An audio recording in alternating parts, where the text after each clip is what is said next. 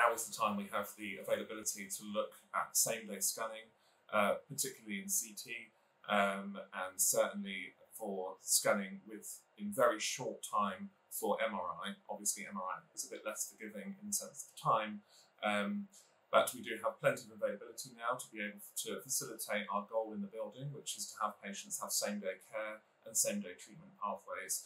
Um, so we're very happy to be able to offer, for example, things like urology. Patient could arrive in urology, come down for CT for, for a KUB, and then go back for their results later in the same day, which is what Welbeck is all about, really, that same day service.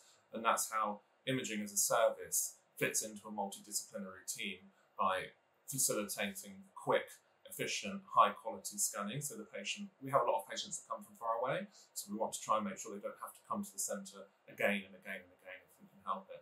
Um, and in particular, that really helps with our screening patients who have a lot of scanning and a lot of tests all in the same day. Um, and so far, we're getting very positive feedback about the ability to see our patients on the day that they come. They can have blood tests, X-ray, CT, MRI, um, all in the same day as their as their consultation.